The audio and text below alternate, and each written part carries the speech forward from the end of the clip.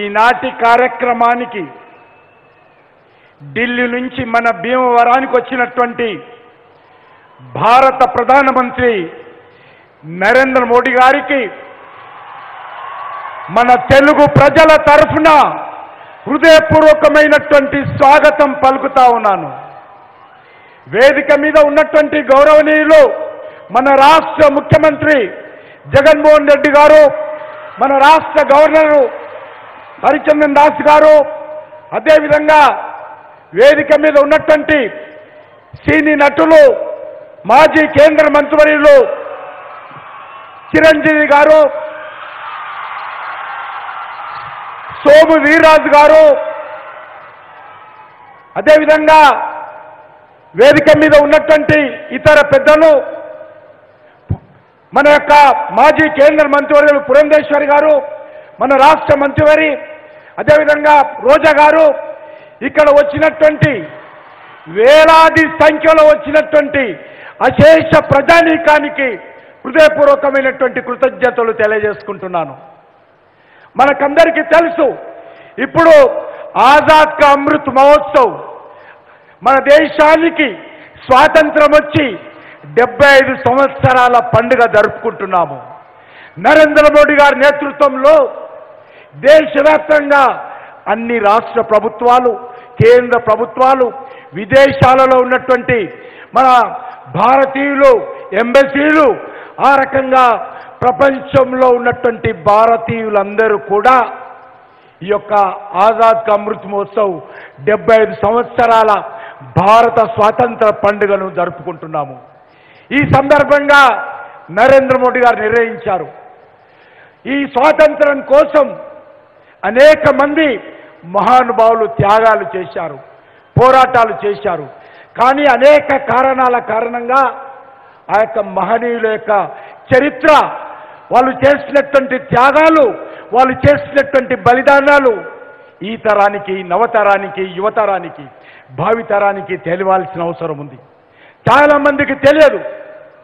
ఇటీవల నేను సాంస్కృతిక శాఖ మంత్రిగా బాధ్యతలు చేపట్టిన తర్వాత దేశంలో ఆజాద్ అమృత్ మహోత్సవ కార్యక్రమాలకు రూపకల్పన చేస్తున్నప్పుడు అనేక రాష్ట్రాలలో ఈ కార్యక్రమాలు జరుగుతూ ఉన్నాయి. అప్పుడు గౌరవనీయులు నరేంద్ర మోడీ గారితో నేను మాట్లాడాను. మా యొక్క తెలుగు నేలపైన తెలుగు పౌరుషానికి ప్రతీక మన అల్లూరి సీతారామరాజు నూట అరవై ఐదు జయంతి ఉత్సవాలను జరుపుకోవాలి. మీరు భారత ప్రభుత్వం తరఫున జరపాలి. ఈరోజు సరిగ్గా నూట ఇరవై ఐదు సంవత్సరాల క్రితము ఒక విప్లవ వీరుడు ఒక పులి బిడ్డ మన తెలుగు ప్రజలు గౌరవించేటువంటి వ్యక్తి మనమందరం కూడా మరి ఆరాధించేటువంటి వ్యక్తి జన్మించిన రోజు. వారితో అన్నాను ఈరోజు మీరు రావాలి. మా యొక్క ఆంధ్రప్రదేశ్కి రావాలి. మా తెలుగు గడ్డ మీదకి రావాలి. ఇక్కడైతే అల్లూరు సీతారామరాజు పెరిగాడో ఆ భీమవరానికి రావాలని చెప్పాను. నరేంద్ర మోడీ గారు ఏ మాత్రం ఆలోచన చేయకుండా వెంటనే అల్లూరు సీతారామరాజు చరిత్ర నాకు తెలుసు. నేను తప్పకుండా ఆ మహానుభావుని యొక్క జయంతి ఉత్సవాల సందర్భంగా వస్తానని చెప్పి మాట ఇచ్చారు. మాట ప్రకారం ఈరోజు ఈ భీమవరం గడ్డ మీద తెలుగు నేల మీద ఈరోజు నరేంద్ర మోడీ గారు వచ్చారు. అంతేకాదు ఈరోజు ప్రారంభం అవుతా ఉన్నాయి. ఈ రోజు నుంచి వచ్చే జూలై ట్వంటీ త్రీ జూలై నాలుగో తేదీ వరకు కూడా దేశవ్యాప్తంగా ఈ యొక్క అల్లూరి సీతారామరాజు జయంతి ఉత్సవాలను భారత ప్రభుత్వం నిర్వహిస్తూ ఉంది. అనేక రాష్ట్ర ప్రభుత్వాలతో కలిసి నిర్ణయిస్తాము. నిర్వహిస్తాము. నేను రాష్ట్ర ప్రభుత్వానికి ప్రత్యేకంగా ధన్యవాదాలు చెప్పాలి. ఎప్పుడైతే గౌరవనీయులు ముఖ్యమంత్రి గారితో మాట్లాడితే తప్పకుండా మీ కార్యక్రమంలో భాగస్వాములు అవుతామని చెప్పారు. నేను ఢిల్లీలో నిర్వహించాలనుకుంటున్నాం. వివిధ రాష్ట్రాల్లో నిర్వహించాలనుకుంటున్నాం. హైదరాబాద్లో నిర్వహిస్తాము. విశాఖపట్నంలో నిర్వహిస్తాము. ఎక్కడెక్కడైతే అల్లూరి సీతారామరాజు సంచరించాడో రాష్ట్ర ప్రభుత్వంతో కలిసి వాటన్నిటిని కూడా అద్భుతంగా తీర్థయాత్ర కేంద్రాలుగా వాటన్నిటిని తీర్చిదిద్దబోతా ఉన్నాం.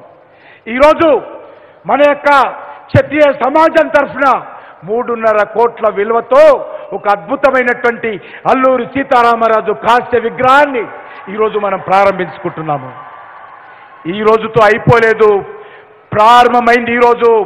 ప్రతి ఊళ్ళో ప్రతి నగరంలో ప్రతి ఒక్క గ్రామంలో కూడా అల్లూరి సీతారామరాజు పేరు ఈ సంవత్సరం అంతా మారుమోగాలి. దానికి మనమందరం కూడా సహకరించాలి. అంతేకాదు ఎవరైతే అల్లూరి సీతారామరాజు కుటుంబ సభ్యులు ఉన్నారో వాళ్ళందరిని కూడా కలుస్తాము.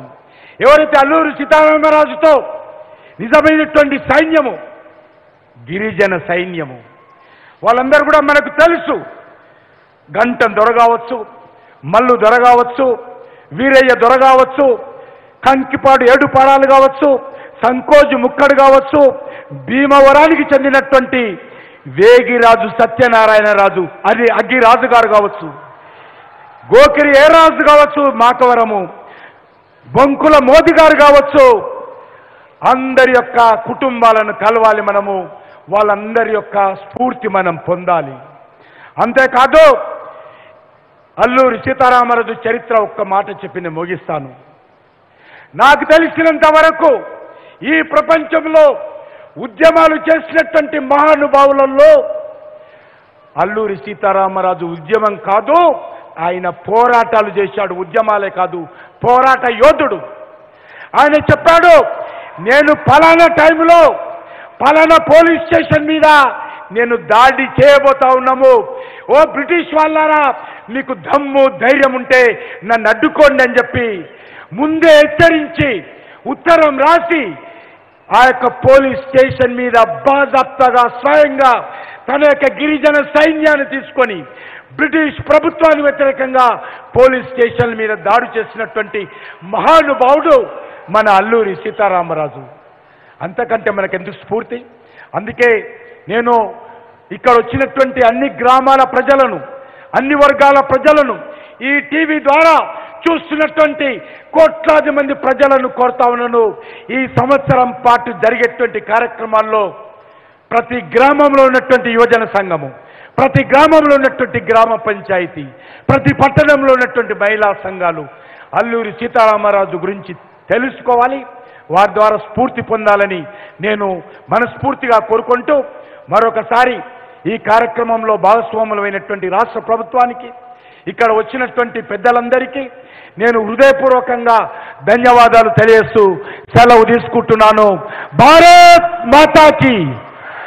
అమర్ హై అమర్ హై. అమర్ హై అమర్ హై. జై జై అల్లూరి సీతారామరాజు. జై జై అల్లూరి సీతారామరాజు. జై జై అల్లూరి సీతారామరాజు. వందే. వందే! అందరూ పిడికిలి బిగించి చెప్పాలి. ఇది కాదు మన భీమవరం వాణి మోడీ గారు ముందు ఈరోజు ఎక్కడైతే పైనుంచి మనల్ని భీమ అల్లూరు సీతారామరాజు చూస్తున్నాడు ఆయన జన్మదినము నూట ఇరవై ఐదో జన్మదినం. కాబట్టి అద్భుతంగా అల్లూరు సీతారామరాజు మనసు ఉప్పొంగే విధంగా ఈరోజు మనం చెప్పాలి. వాళ్ళు అమర్ హే అమర్ హే! అల్లూరి సీతారామరాజు! జై జై అల్లూరి సీతారామరాజు జై జై అల్లూరి సీతారామరాజు జై హింద్